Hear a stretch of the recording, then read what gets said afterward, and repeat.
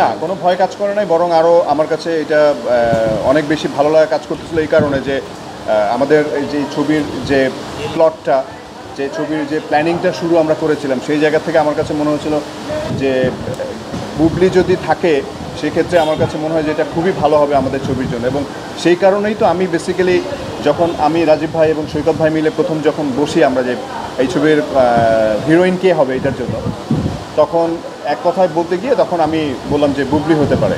তখন সৈকত ভাই এবং রাজীব ভাই আমাকে বলল যে সাকিব ভাইয়ের সাথে ছাড়া তো কখনো ছবি করে নাই মানে করবে কি না ওরা আমি বলছি, আমি কথা বলছি সাকিব ভাইয়ের সাথে। মানে আমি কিন্তু বুবলির সাথে তখন আমার একটা পরিচয় ছিল না বা কখনো দেখা হয় নাই।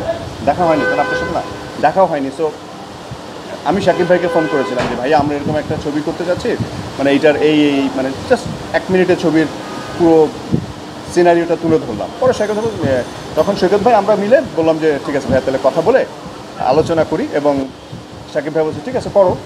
পরে আমি হচ্ছে কথা বলি, কথা বলে এই তো, তারপরে আজকে এখানে। ওই যে ঘটনাটা ঘটেছিল, ওই ঘটনার যে মানুষের যে আগ্রহ সেই আগ্রহের জায়গা থেকেই রাজীব ভাইয়ের প্রথম মনে হয়েছিল যে একটা ছবি বানাবে। ছবিটার নাম হবে ক্যাসিনো সেটার গল্প কি আর্টিস্টকে ডিরেক্টরকে প্রডিউসার উনি শুধুমাত্র আর বাকি কোনো কিছু জানতেন না। যে রাজীব ভাই জানতেন যে একটা ছবি বানাবো ছবিটার গল্পটা হ্যাঁ দর্শকের ইয়ে তো থাকবে কারণ হ্যাঁ সেটাই। আর ব্যাপার হচ্ছে দর্শক তো ওইটা তো অবশ্যই কোনো না কোনো কিছুর সাথে লিঙ্ক খুঁজতেই যাবে সো আমরা লিঙ্কটা খুঁজতে চাক, এরকম কোনো কিছু করার জন্য গল্পটা তৈরি